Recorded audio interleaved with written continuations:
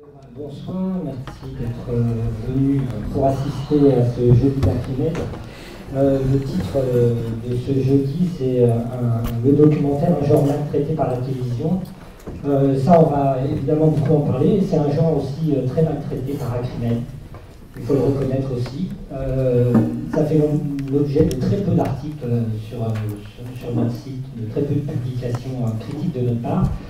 Alors on va essayer ce soir de rattraper un peu euh, ce, manque, ce, manque de, dispositifs critiques, ça, s'explique, hein, parce que je pense que euh, critiquer un documentaire et la diffusion d'un documentaire à la télévision, c'est compliqué. Ça demande beaucoup de temps, ça demande un, appareillage critique qui n'est pas effectivement, on va dire, euh, très partagé à, un qui n'est pas vraiment dans, l'ADN de, l'association, qui est plus axé euh, sur euh, notamment le travail critique du, journalisme à la télévision et dans la presse écrite et à la euh, donc on, essaie un peu de, pallier à ce manque ce soir. je vous présente tout de suite nos invités, alors avec qui on va en parler. José Chilowski, à, côté de moi, qui est producteur et réalisateur de documentaires depuis de nombreuses années.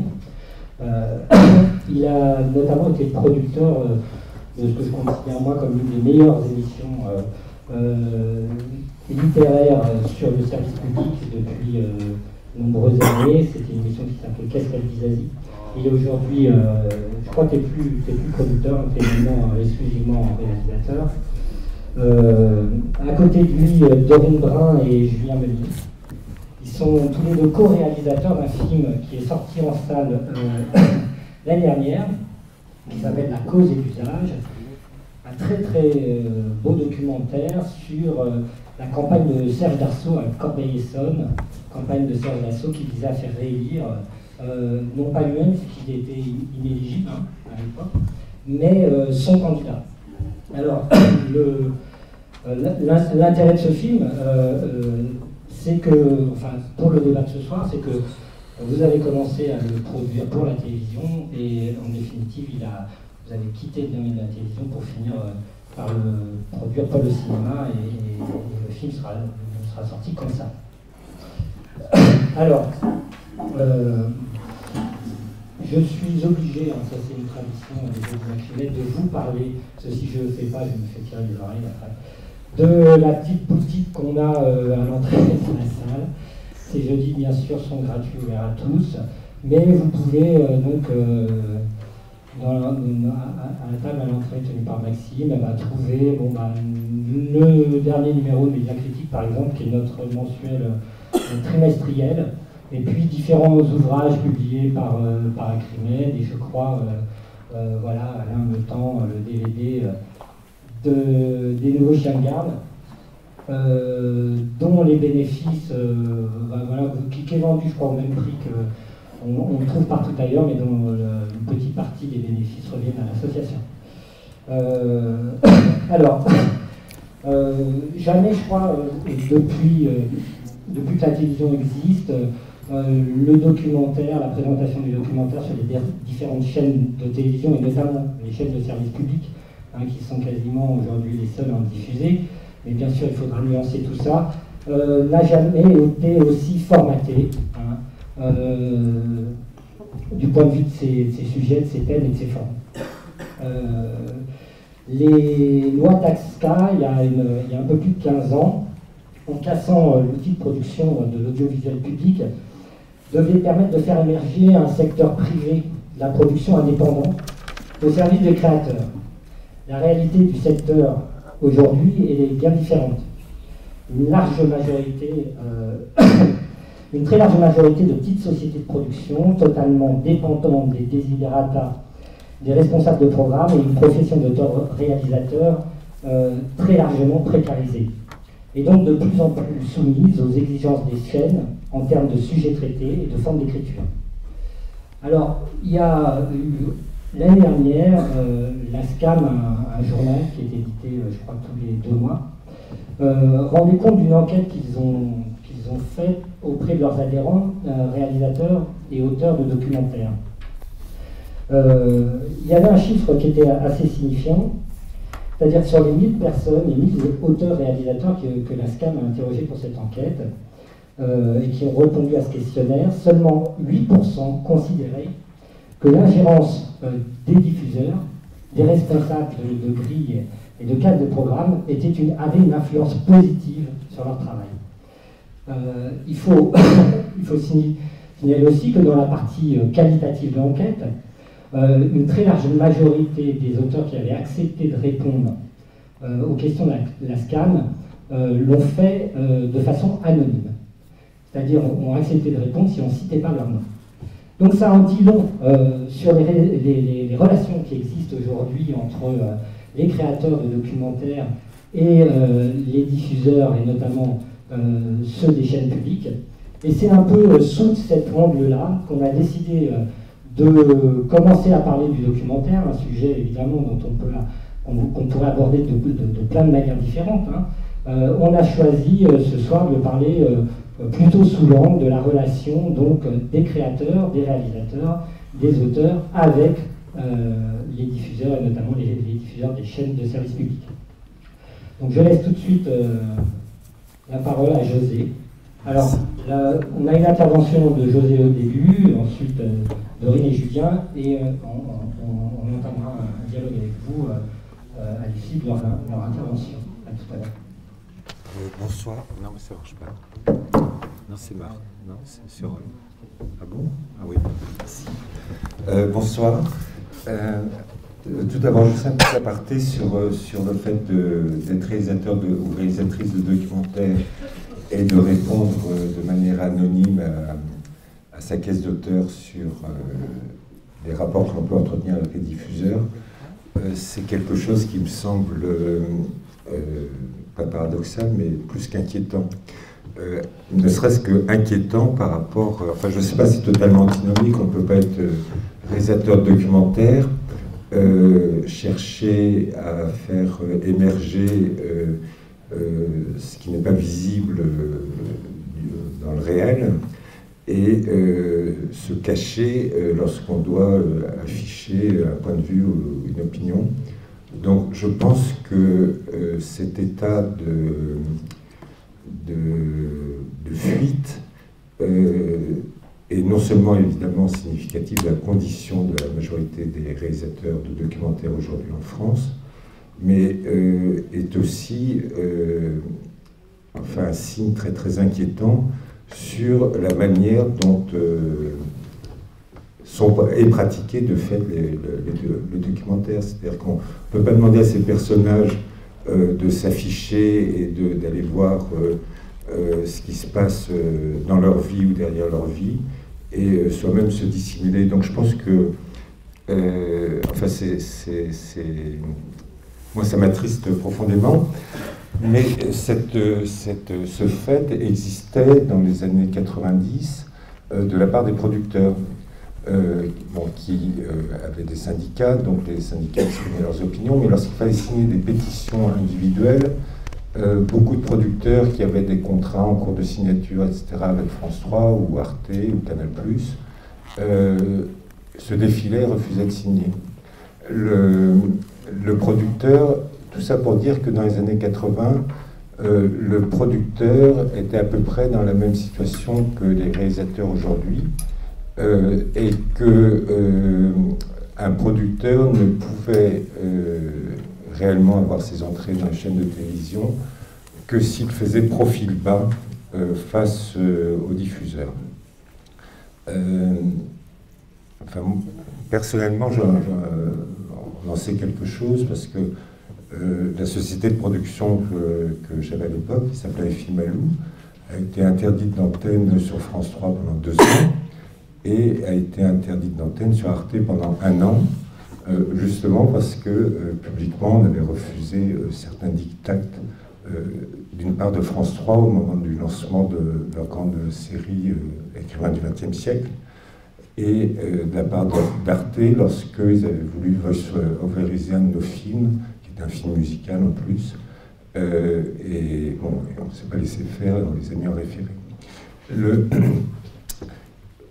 Par rapport justement à la situation d'aujourd'hui, en fait, c'est une sorte de, débâcle, mais dont les origines remontent dans le courant des années 90. En début, début 90, il y avait euh, le documentaire qui commençait à prendre ses lettres de noblesse sur chaîne de télévision, et notamment par le biais d'Arte et par le travail de l'unité documentaire d'Arte euh, autour de Thierry Garel, qui avait une politique délibérée d'auteur, et donc on, assistait, on, avait, Arte produisait euh, et diffusait des films d'auteur. Le Arte, c'est un peu le, le, pôle de référence, et Canal à l'époque euh, enviait Arte, donc a aussi commencé à développer une politique d'auteur. Et les chaînes publiques étaient plus timorées, notamment France 3, euh, malgré tout, couraient après Arte. Ça s'est inversé au milieu des années 90 un double phénomène. Euh, d'une part, la, dictature euh, de l'audience qui a été imposée aux chaînes publiques, euh, qui a touché aussi bien un documentaire que certains magazines, comme dit Asie, mais aussi la disparition d'Océanique sur France 3 et puis son évanouissement lent sur Arte.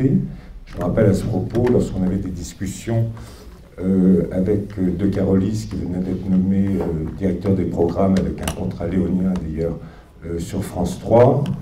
Et, lorsqu'il discutait du contenu de Qu'est-ce qu'elle disait qui, euh, je le précise, était une émission euh, magazine documentaire, c'est-à-dire qu'il n'y avait pas de plateau. Et lorsqu'il parlait des entretiens, par exemple, qui étaient des entretiens qui étaient menés par le journaliste de Libération Jean-Baptiste Aran, il nous disait, mais c'est incroyable, les entretiens, ils durent parfois 15 minutes, parfois 20 minutes, parfois 7 minutes. Euh, il faut réduire tout ça, euh, vous pouvez très bien les faire en trois minutes. Euh, alors on lui dit non, on ne peut absolument pas les faire en trois minutes, l'entretien dure ce qu'il doit durer. Et il me dit, mais moi j'ai traité sur M6 la Deuxième Guerre mondiale en six minutes. voilà. Et lorsque les conversations s'éternisaient, au moment où ils ont programmé notre disparition, donc on restait des heures entières dans leur bureau, ils nous parlaient de tout et de rien, et euh, de Carolis euh, et Duhamel euh, étaient par contre très intéressés par ce qui se passait derrière nous. Il y avait un grand poste de télé où il y avait des retransmissions de matchs de football sur le continent latino-américain, des trucs comme ça, d'équipes locales, plus que par la littérature. Et environ tous les quarts d'heure, le responsable des, audiences de France 3 rentrait et rendait compte euh, des, fluctuations d'audience des programmes de la veille, fluctuations d'audience qui étaient mesurées minute par minute. Et euh, en fonction de ces fluctuations, et, bon, ils avaient des commissions d'études, etc., qui faisaient que un film, euh, une fiction télé, un documentaire ou un magazine devait à tel moment modifier son cours, modifier son écriture ou adapter son écriture euh, afin que le public ne quitte pas euh, la chaîne. Le et France 3, euh, donc à partir de, ces années-là, c'est-à-dire 95, 96, 97, a commencé à considérer le documentaire non plus comme un genre, mais comme un produit. Et le mot produit revenait dans, dans les lèvres, dans lèvres. oui, c'est un bon produit, non, c'est pas un bon produit. Ce qui veut dire que concrètement, euh, le producteur et le réalisateur euh, ne devenaient plus, perdaient leur qualité d'auteur ou pour le réalisateur, d'indépendant pour producteur, et acquéraient une qualité de prestataire de service. Le, ce, disons, ce mouvement, euh, cette dérive sur France 3, s'est accompagné d'une autre dérive sur Arte, ou d'une modification, disons, du rapport entre le diffuseur Arte, je simplifie parce que Arte, il y a plusieurs unités de programme, etc. Euh, il y en avait qui étaient déjà en avance sur la transformation du documentaire en produit, euh, mais il y en avait d'autres euh, autour de Thierry Carrel qui maintenaient le cap. Mais dans les années 95, 96, 97, dans l'unité de documentaire d'Arte, autour de Thierry Garel, il y a eu une sorte d'excommunication des auteurs. Et euh, se sont substitués aux auteurs des films l'unité documentaire de, Arte, qui n'ont pas en fonction à cette époque-là euh, d'objectifs d'audience euh, et de concurrence par rapport aux autres chaînes, mais en fonction de critères purement artistiques et formels qu'ils défendaient eux, les films devaient s'adapter à, leur, à leur parti pris esthétique. Il y a, par exemple, il y a un film dont le projet est absolument superbe de Pedro Costa sur les Straub, dans la collection des, cinéastes, et où Pedro Costa, avec comme parti pris de faire en sorte que son film ne se passe que dans la salle de montage des Straub. Bon, c'est une idée excellente. Et, et, là, on voit non seulement toute la mécanique des Straub, mais aussi on découvre, on aurait pu découvrir euh, leur, langage, leur langage cinématographique à travers sa fabrication euh, jour par jour. Mais c'était insupportable euh, pour, pour Thierry Carrel. Et c'était tellement insupportable que il lui fallait voir le jour à un certain moment. Il ne pouvait pas rester. Donc il a obligé quelqu'un comme Pedro Costa euh, à euh, mettre des, scènes de, bon, des, je trouve, dans une conférence ou de je ne sais quoi. Il a totalement dénaturé le film et totalement dénaturé le projet. Ça, c'est passé avant euh, l'an 2000. Dans le même temps, sur Arte, aux unitaires, c'était au film unitaire, se sont joints des collections et des collections dont l'écriture était, était toute faite, avec des dictates qui faisaient qu'il euh, y avait impossibilité à transgresser quoi que ce soit. Et on a assisté donc, euh, euh, là aussi au niveau formel, à des films qui étaient des copies conformes. Simplement, on changeait le lieu, on était une fois à Venise, une fois à Pékin, mais on avait toujours le même film. Et en ce sens-là, il y a eu un appauvrissement de la notion d'auteur sur Arte dans ces années-là.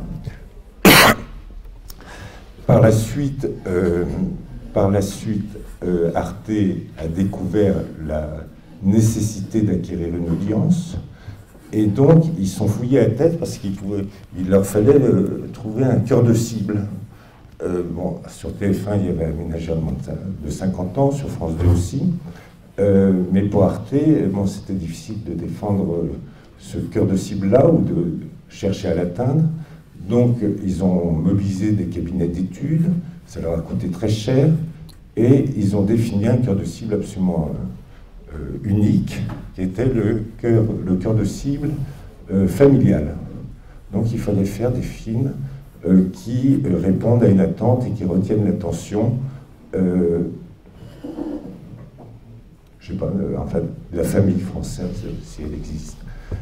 Euh, et par exemple, euh, j'avais produit à, l'époque un film sur Henri Cartier-Bresson pour Arte. Et euh, lors de la projection, le, enfin, quelqu'un que j'aime bien par ailleurs, qui était l'adjoint de Jérôme Clément, était furieux. D'abord parce qu'il trouvait Henri Cartier-Bresson vieux, il semblait ignorer son âge. Euh, et ensuite, parce qu'il disait, mais non, mais là, il faut retirer au moins 15 minutes, il aurait pu avoir ses raisons, et ses raisons auraient pu être audibles. donc, je lui demande pourquoi. Il dit, mais pensez à nos téléspectateurs. Le film va être diffusé à 22h30. Déjà, bon, c'est la question de la programmation, c'est qu'il y a une dérive euh, des, des, programmations des documentaires qui, pour certains et beaucoup, étaient diffusés en première partie de soirée et se retrouver euh, la plupart aujourd'hui autour de 22h30, 23h, quand ce n'est pas plus tard. Donc pensez à nos téléspectateurs parce que à cette heure-là, ils ont sommeil. Donc j'ai répondu, mais, s'ils ont sommeil, passez un, passez un spot et dites-leur d'aller se coucher, quoi. Parce que pensez à leur santé. Le, et donc il y, a Arte est rentré dans, dans cette logique d'audience qui fait que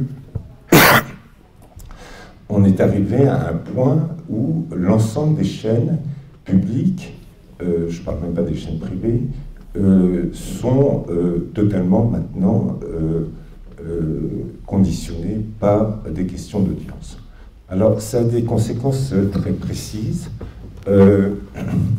D'une part, on cherche, les chaînes cherchent des nouvelles formes de documentaires qui vont à l'encontre de ce qu'est le documentaire, c'est-à-dire qui se basent sur le spectaculaire.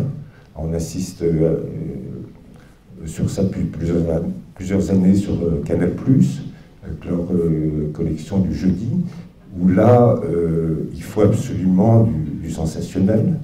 On a, assisté ça avec Arte, avec certains films, notamment je me rappelle d'un film qui avait été présenté à l'Arlequin pour 600 personnes ou 500 personnes, euh, euh, où euh, il y avait une collection de 90 minutes, donc de grand format, lancée sur la police dans le monde.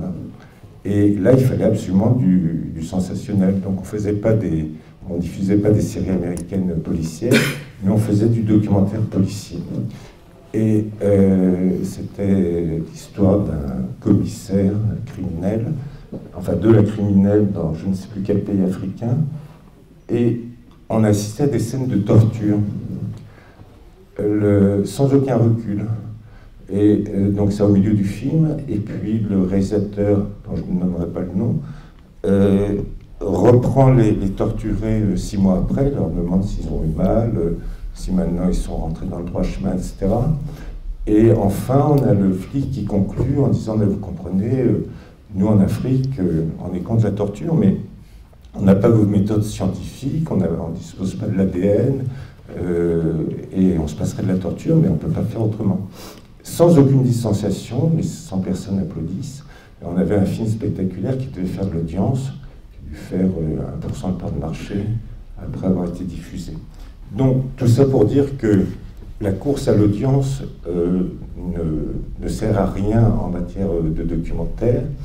Et la course à l'audience, par contre, dicte absolument euh, l'écriture et le formatage des documentaires depuis une dizaine d'années en France. Il y a aussi, euh, toujours par rapport à l'audience, euh, chez les diffuseurs, une moyenne d'audience des chaînes de télévision de part de marché. alors, France 3 dégringole, mais ils étaient autour de 20% il y a 10 ans, ils sont autour de 10% aujourd'hui. Mais ceci dit, un documentaire doit obtenir la moyenne. Donc, et, tout produit, puisqu'ils appellent ça les produits, doivent obtenir la moyenne. Donc, on n'est plus dans une moyenne. C'est-à-dire qu'une euh, moyenne, justement, il y a des genres peut-être plus difficiles, euh, et le diffuseur peut se dire, bon, ben là, je consacre euh, de l'argent et je vais perdre de l'audience. mais voilà, ça fait une moyenne. Et puis, par ailleurs, je diffuse grosso modo sur 24 heures, 18 heures de, comment on pourrait dire, de détritus, les jeux, les séries américaines, etc. Ça va me relever la moyenne et je vais pouvoir répondre à, ce que je dois faire, c'est-à-dire j'ai un quota documentaire à réaliser et je sais que ça va atteindre la moyenne. Non, pas du tout. Le documentaire doit obtenir la moyenne. Donc on est dans, une situation totalement absurde. Alors ça, c'est le cadre général. Euh, concrètement, qu'est-ce que ça a euh, comme implication au niveau des documentaires? D'abord, quand on parle du film documentaire, je pense que euh, c'est une généralisation qui, est, dangereuse parce qu'il il y a beaucoup de, genres de films documentaires. C'est-à-dire qu'il y a des genres qui sont tout à fait qui ne pose pas de problème avec euh, la politique d'audience des chaînes de télévision. Je ne veux pas dire en sens-là que ce sont des documentaires de moins de qualité, mais par exemple, le film historique ou le documentaire ou le film d'archives ou le film animalier, euh, documentaire, ne sont pas antinomiques avec l'écriture aujourd'hui euh, imposée par les, par les chaînes de télévision. Le, documentaire à base de commentaires aussi, euh, essentiellement, n'est pas antinomique avec la diffusion de télévision. Par contre, la systématisation de, de, certaines obligations qui sont, quel que soit le film, maître du commentaire. Quel que soit le film, lorsqu'il est en langue étrangère, le fait qu'il soit voice quel que soit le film, faire en sorte qu'un plan ne dure pas plus de 10 secondes. Encore 10 secondes, ça, le, diffuseur devient, enfin, c'est plus qu'inquiet. Et pour lui, c'est intolérable. Euh, porte atteinte au documentaire, c'est-à-dire à sa forme, à son signifiant. Le, le documentaire aujourd'hui à la télévision, il, subit un appauvrissement euh, de son signifiant au profit d'un signifié qui est par définition pauvre. C'est-à-dire que, grosso modo, le dernier film que j'ai co-réalisé euh, avec des personnages privés de papier en France, euh, il fallait, euh, pour France 2, il fallait, enfin on a compris ça au bout d'un certain moment, avant même que les images parlent, avant même que l'expression des personnages ou bon, parle, d'elle-même, il fallait tout expliquer. C'est-à-dire, grosso modo, on vous explique ce qui se passe et après on vous le montre. Euh, lorsque, euh, dans ce type de film, euh, le commentaire parle à la place de l'image, on n'est plus, dans, on plus dans, dans, du documentaire pour en parler, on est dans, dans, du commentaire d'image. C'est en ce sens-là, à mon avis, que la situation est la plus dommageable.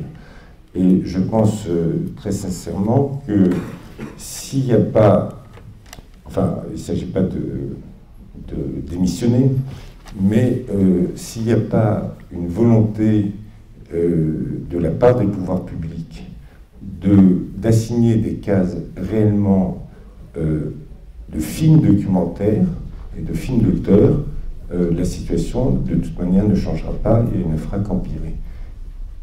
La, démission des pouvoirs publics, elle dépasse euh, les chaînes publiques, qui, elles, sont dans une sorte de mimétisme effrayant par rapport aux chaînes privées. Il ne faut pas oublier que les chaînes privées, euh, ce sont des concessions, qu'elles utilisent l'espace public et qu'elles devraient être elles-mêmes astreintes à des obligations de programme qui laissent la place euh, à la politique d'auteur. Alors pourquoi dire que, enfin pourquoi prétendre que les auteurs ont un droit de citer euh, sur, euh, sur les chaînes de télévision? Tout simplement parce que le documentaire va à l'inverse de ce qu'offre la télévision comme représentation du monde, qui est une représentation du monde en miroir. On dit, voilà, le monde est tel qu'il est. Et effectivement, en partie, le monde devient tel qu'il est dit être par la télévision. Euh, le documentaire ne se situe pas du tout théoriquement dans le spectaculaire. Le documentaire, euh, c'est une plongée dans, les apparences et euh, c'est la tentative, parfois réussie, parfois non, de faire émerger des, réalités, euh, des causes à des effets qui n'apparaissent pas et qui trompent l'évidence. donc, à partir de ce moment-là, je pense, moi, que pour appréhender la réalité, le documentaire, c'est l'anti-journal télévisé, ou c'est l'anti-magazine, où on nous explique tout, et où l'image est réduite à l'état de, caution euh, d'un propos qui n'engage que son émetteur. Je ne parle pas d'auteur. Voilà. Euh, rapidement.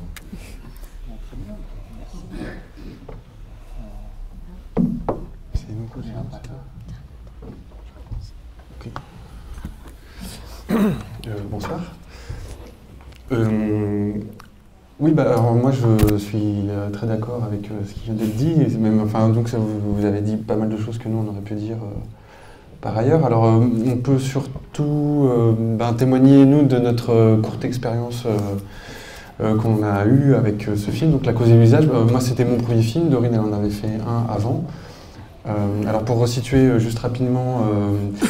En, donc en 2008, Serge Dassault a été élu, enfin réélu, ça faisait plus d'une dizaine d'années qu'il était maire d'une ville qui s'appelle Corbeil-Essonne, en banlieue, dont on est originaire avec Dorine. Et sauf que voilà, cette élection en 2008, elle a été annulée par le Conseil d'État, euh, surtout pour cause d'achat de, voix, voilà, d'argent, euh, il aurait euh, payé des gens pour voter pour lui. Donc c'est annulé, il est inéligible et l'élection est rejouée en, 2009. Donc avec Dorine, ça nous a intéressé, on est très vite parti sur le terrain. Et en, étant donc, on, avait un accord tacite avec la maison de production qui avait suivi Dorine sur son film précédent, donc euh, on n'avait pas de temps d'écriture, donc on est très, vite allé tourner. On est, parti tourner avec la caméra de Dorine, on s'est débrouillé pour avoir un, micro, une perche, et puis euh, voilà, on était sur le terrain à Corbeil-Essonne. Euh, et, le film s'est écrit pendant qu'il était en train d'être tourné. Voilà, alors nous très vite on s'était mis d'accord sur des choses qui étaient assez évidentes pour nous au niveau de notre principe de tournage, de mise en scène. Donc c'était principalement euh, d'être sur l'espace public et de ne pas raconter euh, les coulisses euh, et les stratégies de campagne, par exemple. C'était vraiment, on voulait filmer la parole publique, que ça s'installe dans des séquences longues, des plans un petit peu longs aussi. voilà, c'était pas un portrait de Dassault, c'était pas un film à charge. On voulait vraiment plutôt montrer ce que la politique de Dassault, son argent, faisait dans la relation que la population de Corbeil-Essonne avait avec son maire, voilà, euh, quelle était la place de l'argent et qu'est-ce que ça avait transformé de la démocratie. Euh, pour nous, c'était des choix assez évidents, même plutôt simples. On savait que la, la maison de production qui nous suivait euh, était surtout spécialisée, enfin travaillait surtout avec la télévision. C'était une, grosse boîte qui, qui produisait... Euh, oui, oui, euh, c'est Point du jour, euh, voilà.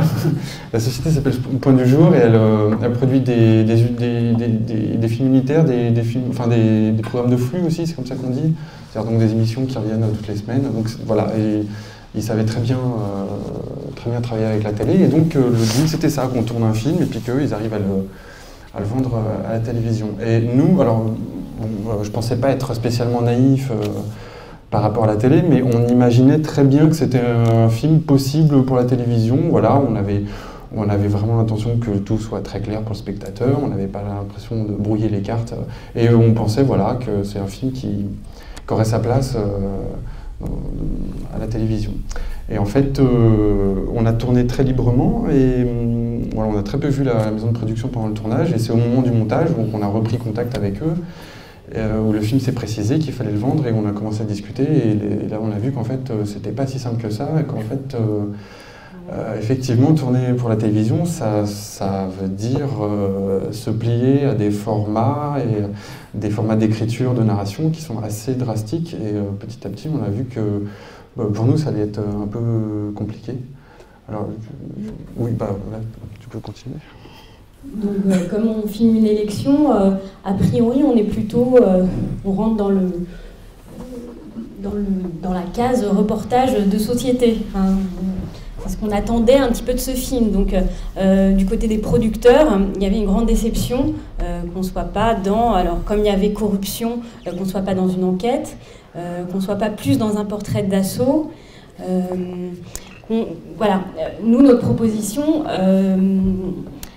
elle était de rendre compte d'une certaine complexité de la vie politique de, Corbeil-Essonne, de, euh, de faire émerger une certaine banalisation euh, des, rapports entre euh, Dassault et, une partie de la population, une banalisation de, voilà, de pratiques clientélistes.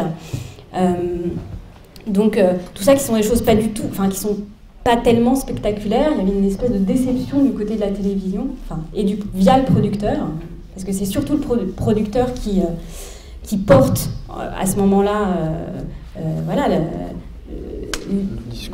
discours télévisuel. Et, et donc, on, passe son temps à pas se comprendre, c'est-à-dire à absolument pas aborder des questions de, forme, des questions de qu'est-ce qu'on fait concrètement sur le, sur le terrain. nous, donc, concrètement, on envisageait un film sans voix off, même si c'était pas, euh, on pouvait en discuter, mais on, voulait plutôt que, que, ce soit par le jeu du montage entre les situations que le film se raconte. Donc ça veut dire, c'est l'inverse d'un film qu'on peut voir que par bout. C'est un film qu'il faut voir absolument entièrement, dans sa durée, parce que sinon les choses ne, se disent pas en fait. Donc bon bah déjà ça c'était compliqué. avait voilà, on, retire un certain nombre d'informations. Julien et moi, on n'est pas euh, journaliste. Et là, on ne faisait pas un travail de journaliste parce que voilà, on, venait faire un film. Donc il y avait plein d'informations qu'on ne donnait pas. Et ça, euh, parce que c'est très compliqué, hein, une vie politique, pour bien la raconter, bon, bah, très vite on se retrouve à, surcharger d'informations euh, chaque plan, chaque image, chaque prise de vue. Et donc on avait fait un choix voilà, assez clair de ne pas raconter euh, plein de choses, de plonger dans cette élection-là, de pas, alors, euh, alors, ça on essayait de le défendre, mais ça on savait très bien que si le film passait à la télé, ça pouvait, ça pouvait pas tenir, mais on essayait de défendre que les, euh, les gens qui prennent la parole ne soient pas systématiquement étiquetés politiquement, hein, cette espèce de, voilà, de choses que vous connaissez très bien. Parce que on est sur une élection locale, les, les, propos, voilà, on, on les écoute plus, ils sont tout de suite étiquetés. Enfin, ça peut se défendre, hein, évidemment, de, de, nommer les appartenances politiques, mais pour, notre film, ça comptait. Enfin, c'était une chose qu'on essayait de, défendre. Bon, bah ça, c'était compliqué. Euh, et dans notre relation donc, donc avec la boîte de production, hein, qui, est vraiment pour nous le principal relais, en fait, euh, parce qu'on est très très peu confrontés euh, directement aux, chaînes, mais dans, la, dans les rares confrontation qu'on a eu, enfin confrontation dans les rares rencontres qu'il y a eu, euh, le, reproche qui nous était fait, c'était que notre film manquait d'objectivité. Bah, logiquement, nous, on faisait un projet qui avait, euh, en tout cas, l'ambition d'être personnel, euh, de, développer un regard sur cette élection-là. voilà, c'est un peu difficile. Il faudrait plus raconter ce que fait le film, mais bon, voilà, on avait un projet, on défendait clairement un certain nombre de, de partis pris. Euh, et, bon, bah ça, en fait, il n'y avait aucune écoute, euh, mais vraiment aucune écoute du côté de, la chaîne et finalement de la boîte de production. Euh, donc on, passait son temps à ne pas se comprendre. Enfin, dans, les peu de rencontres qu'il y a eu, c'est finalement une incompréhension totale sur bah, nous, on est avec des questions, comment dire, de, oui, de terrain, de, de, comment, comment c'est un film. bon, bah, en face, on est face à des gens qui, ne, se demandent que comment ils vont faire pour euh, euh, placer ce produit. Enfin, on est avec des. Euh, le, film n'est qu'un produit, donc, voilà. Ah un autre élément, alors ça c'était le producteur, il n'arrivait absolument pas à parler de notre film. Donc il avait deux mots pour en parler. C'était, c'est un film impressionniste et c'est un film atmosphérique. Donc, euh, bon, globalement, c'est un film en cinéma direct. Donc, euh, on plonge dans certaines situations. Euh, qui, voilà, c'est un vieux truc dans le cinéma documentaire, ça existe depuis longtemps. Après, comment ça se fait de manière un peu. ça, voilà, de rentrer dans le détail de notre position. Donc, nous, on était. Ben, on était donc, dans l'espace public, on n'était pas dans une position distante, on, appartenait complètement aux situations, hein. on n'était jamais caché, c'était quelque chose qu'on revendiquait très fort. On, appartenait à, cet espace public en tant que filmeur et, preneur de son. Euh, donc on, fait partie euh, des situations, puis on se fait aussi oublier en partie, mais pas tout le temps. Euh, voilà. Donc toutes ces petites choses qui font un film, qui sont d'où on filme, bon bah ça très très peu d'écoute euh, du côté des, producteurs et euh, de la chaîne. Est-ce qu'on a autre chose à dire sur, la chaîne? Oui, moi je, enfin, ah, je, peux rebondir aussi sur. Euh, c'est-à-dire, dans les rapports justement avec la chaîne. En fait, c'est assez compliqué quand on est, jeune réalisateur, qu'on n'a pas beaucoup d'expérience. On se retrouve face à un, producteur avec qui, effectivement, on ne discute pas du tout en fait, de cinéma. Hein. On discute vraiment de comment est-ce que le, film va pouvoir être formaté et rentrer dans la case. Donc, c'est déjà assez difficile comme ça de ne pas être soutenu dans une démarche qui serait personnelle. Et en plus, ensuite, quand on est face à la chaîne, elle est quand même vraiment toute puissante. C'est la chaîne qui a l'argent et, et, la diffusion. Enfin, euh, ça installe un rapport, de, rapport, de, force qui est complètement euh, déséquilibré. En fait, on n'a pratiquement aucun moyen de, de lutter contre ça. Donc nous là-dessus, la chance qu'on a eue, c'est qu'en fait le producteur a jamais vraiment compris ce qu'on était en train de faire avec ce film. Du coup, il savait pas le vendre. Du coup, en fait, les chaînes étaient très embêtées aussi face à ça, vu que bon voilà, le sujet c'est vraiment un sujet de société, donc a priori ça les intéresse. Mais euh, vu comment on faisait les choses, euh, là d'un seul coup, euh, il, perdait un peu pied, on ne savait pas trop comment faire. Donc voilà, ce film il est rentré au placard. Enfin, petit à petit, on s'est rendu compte qu'il ne se passerait rien du tout au, niveau des chaînes, euh, qu'il n'y aurait pas d'argent. Euh, ah oui, parce que ce qu'il faut dire aussi, c'est que nous, on travaille gratuitement, enfin, on n'est pas payé pendant ce temps-là. C'est-à-dire qu'il y a eu trois mois de tournage, on a monté un an, deux ans euh, avec notre matériel, etc. Donc peut-être un jour la chaîne allait acheter, mais en attendant, il bah, fallait bien faire le film. Donc là-dessus, on n'est voilà, pas payé. et donc finalement, on décide de de récupérer le film, on s'est dit que voilà, on, allait réussir à le faire exister ailleurs autrement. Euh, et donc il nous faut racheter euh, du coup les droits euh, à la maison de production qui nous avait payé, je ne sais plus combien, 800 euros, quelque chose comme ça, chacun pour, sur les droits du scénario. Et à, à ce moment-là, voilà, on s'engueule et il faut, il faut si, pour, pour qu'on puisse partir, voilà, il faut payer. Donc on doit en plus, on n'a pas été payé pour le tournage, il faut qu'en plus on rachète les droits pour pouvoir ensuite avoir notre film et pouvoir essayer de le faire exister ailleurs. après, on a eu la chance de rencontrer euh, une maison de production qui s'appelle Independencia, qui, qui regardait plus du côté du cinéma, euh, qui avait aimé le film. C'est quand même la première fois qu'on rencontrait un producteur qui nous disait euh, que notre film était bien, enfin voilà, qu'elle nous produisait parce que le film était bien, le projet était bien. Et finalement, voilà, elle arrive à, tirer, à trouver un petit peu d'argent euh, et à se débrouiller pour faire une sortie au cinéma. Donc c'est sorti au mois de septembre et nous, finalement, on s'en sort bien. Voilà, le film existe. Euh, il y a plein de films qui, enfin, dans le même cas, hein, qui, quand ils ne sont pas achetés par des télés, euh, euh, sortent pas au cinéma. Enfin, c'est encore une minorité. Donc Enfin voilà, là-dessus aussi, il y a un truc aussi par rapport à la télé, c'est que euh, quand on voit les films, qui, les, films documentaires qui sont à la télévision, euh, moi je suis assez frappé.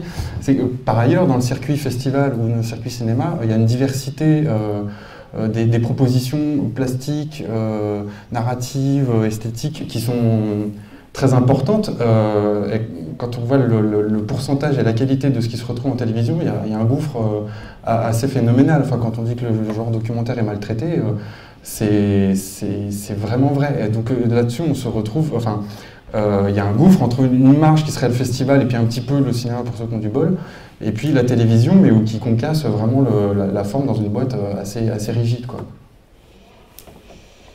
Tu veux rajouter quelque chose? Non, non, non.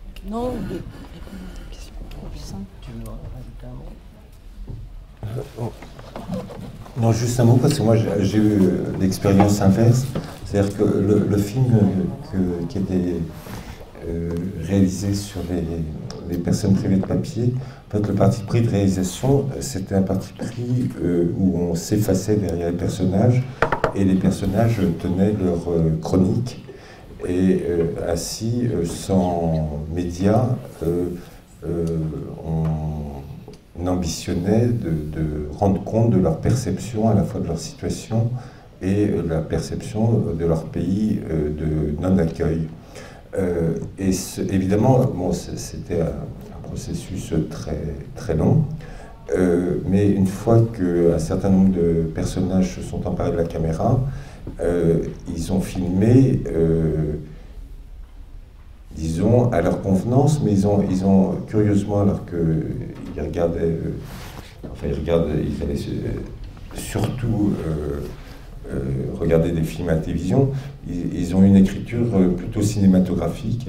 avec des plans aussi assez longs, des, plans séquences, où il y avait des mises en scène dans les plans, enfin dans certaines séquences, mais toujours en plan fixe. Et euh, on avait obtenu un premier financement de la région Midi-Pyrénées assez conséquent dans la perspective d'un long métrage euh, documentaire. Et donc on s'orientait vers, une diffusion cinéma. Euh, quand France 2 a manifesté son intérêt, et donc pour nous c'est posé le dilemme, est-ce que l'on on va jusque... enfin on refuse France 2 euh, et euh, est-ce que euh, on abandonne la, ou, est-ce qu'on refuse France 2 et on maintient le cinéma ou est-ce qu'on prend France 2 euh, Évidemment, le producteur, enfin le producteur est très bien en la matière, donc je ne vais pas attaquer le producteur, mais le producteur préférait France 2 pour des questions financières assez évidentes.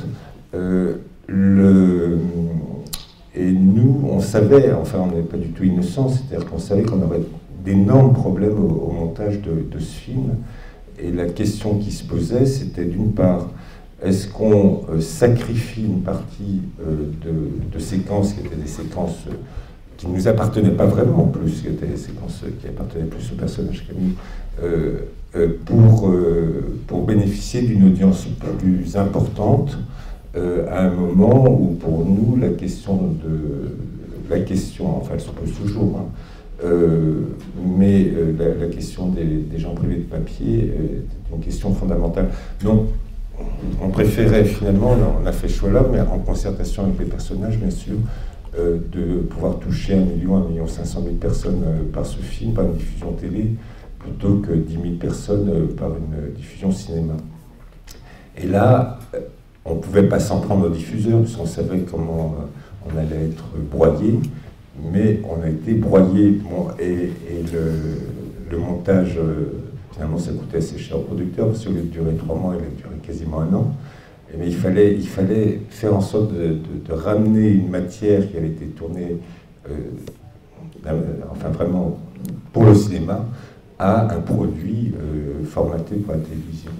Donc c'était une épreuve pour tout le monde, pour le diffuseur qui n'en voyait pas la fin, pour le producteur qui perdait de l'argent, euh, et pour nous qui devions faire au jour le jour notre deuil du film dont on rêvait.